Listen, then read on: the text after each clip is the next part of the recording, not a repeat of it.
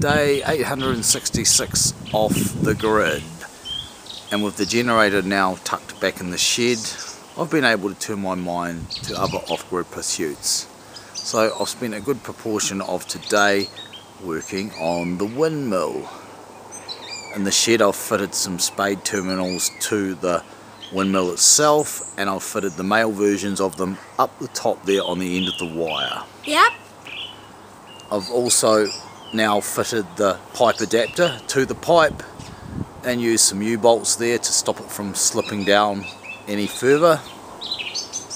And of course temporarily there's a plastic container on top stopping any ingress of rainwater because we're bound to get some more rain soon It's a bit windy today to actually be putting up a windmill, ironically, but I'm not going to rush this.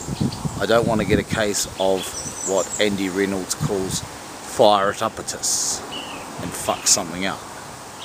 One more thing I've done, I've put this additional pole in.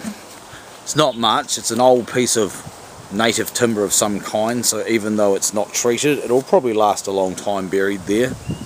That's just a rest because we're getting some weight on the end of this pipe now even with that steel of that adapter there so when the pipe comes down it now rests here while I'm fitting the windmill which makes things a lot easier.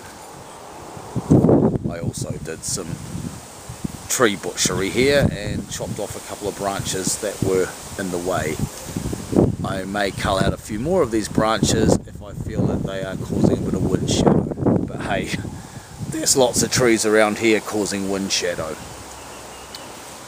The turbine I have is a 400 watt Air-X turbine, but if I see it producing 50 watts on a reasonably regular basis, I will be more than satisfied with this installation. Yep. It's 50 watts we don't have now, and it's potentially 50 watts that could happen on an overcast day or at night. But right. we'll see.